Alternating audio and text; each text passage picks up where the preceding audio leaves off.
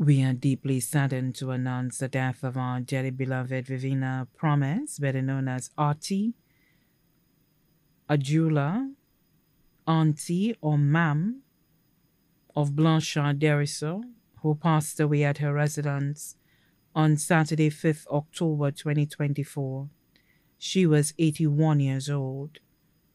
The funeral arrangements for the late Vivina Promesse, better known as Auntie, Ajula, Auntie, or Mam, will be announced in a subsequent broadcast.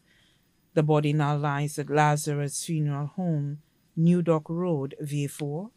May she rest in peace.